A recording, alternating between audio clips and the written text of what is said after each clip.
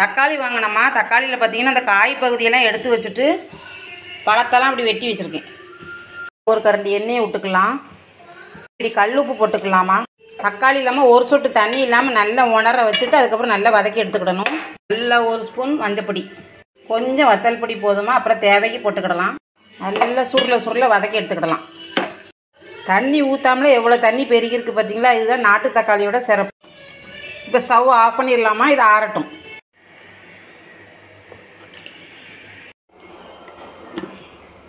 முட்டை தொக்க வைக்க போகிறோமா வெங்காயம் போட்டிருக்கேன். கொஞ்சம் வத்தல் பொடி பத்தாயிரம் போட்டிருக்கேன். இப்போ இதில் எடுத்து தேவைக்கு எடுத்து போட்டுருப்பேன் இப்போ இதை தூக்கி ஃப்ரிட்ஜில் வச்சிடலாமா